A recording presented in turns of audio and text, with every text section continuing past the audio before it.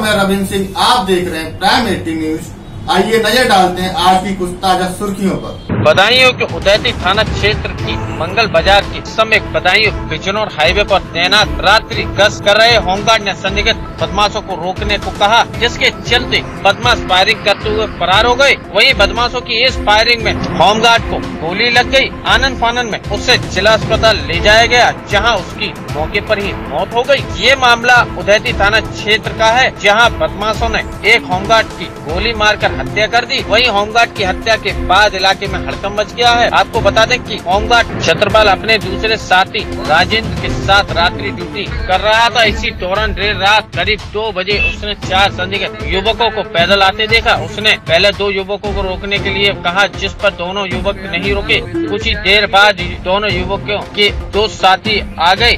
जब वो युवक नहीं रुके तो होमगार्ड ने दौड़कर बदमाशों को पकड़ना चाहा। इस पर बदमाशों ने फायरिंग शुरू कर दी। वहीं बदमाशों की ओर से की गई फायरिंग में होमगार्ड छत्रपाल को गोली लग गई और वह मौके पर ही गिर पड़ा। इसके बाद आनंद फानू में होमगार्ड को जिला अस्पताल ले जाया गया, जहाँ उसकी मौके पर ही मौत हो गई। सूचना मिलते ही घटना स्थल पर पहुँचे ग्रामीण पुलिस अधीक्षक डॉक्टर सुरेंद्र प्रताप सिंह, साथ ही सीओ बिलसी इरफान नासिर खान ने पहुंचकर घटना स्थल का मुआयना किया। फॉरेंसिक टीम भी जाँच में जुट गई है। एसएसपी बदायूं अशोक कुमार शर्मा ने बताया की मुआयना कर मृतक छत्रपाल के परिजनों को आर्थिक सहायता है तो जनपद बदायूं के एक दिन की वेतन अनुमानित लगभग 20 लाख रुपए का आश्वासन दिया है। फ़िलहाल पुलिस बदमाशों की तलाश में जुट गई है जिसके चलते उदयती पुलिस ने चोरी की निशानदेही पर कई लोगों को हिरासत में लेकर पूछताछ कर ली है।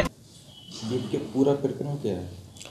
ये रात्रि में लगभग ढाई बजे होमगार्ड्स एक होमगार्ड और एक उनका पीसी लोग गश्त पर थे कस्बा गैती में। उस समय पर वहाँ से दो लोग निकले इनको संदिग्ध लगे इन्होंने टोका टोकने पर वो लोग भागना शुरू किए इन्होंने उनको आप पीछे पीछे इनके चले, पीछे से दो बदमाश और आ गए उनके साथ। ही उनमें से एक ने एक होमगार्ड गोली मार दी। उसके सीने में गोली लगी है। होमगार्ड को अस्पताल लेके आया जिला अस्पताल लेके आएगा। वहाँ उसकी मृत्यु हुई है।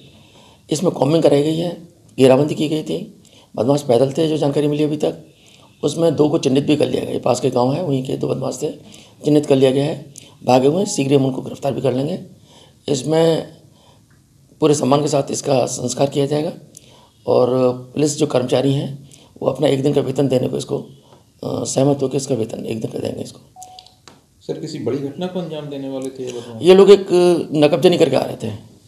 उसका सामान भी मिल गया है नकबजनी का जो सामान लेके आ रहे थे वो भी मिल गया है। उसमें एक प्रिंटर है और एक बैटरी है ऐसे छोटा मोटा सामान है जिसको लेके आ रहे थे। सर कुल कितनी राशि दी जाएगी सर इनके लिए? ये पुलिस कर्मचारियों को जो एक दिन का वेतन है उसमें से लगभग बीस लाख रुपया इनके परिवार को पुलिस वाले देंगे इसमें। ये हमारे परिवार के अंग थे पुलिस की ड्यूटी कर रहे थे इनका पूरे सम्मान के साथ किया जाएगा इनके परिवार की पूरी मदद की जाएगी। इसमें एक प्रोविज़न इनके यहाँ होमगार्ड्स में ये भी है कि पाँच लाख रुपए का इनका ग्रुप इंश्योरेंस रहता है वो रा- बदायूं से राम प्रजापति की खास रिपोर्ट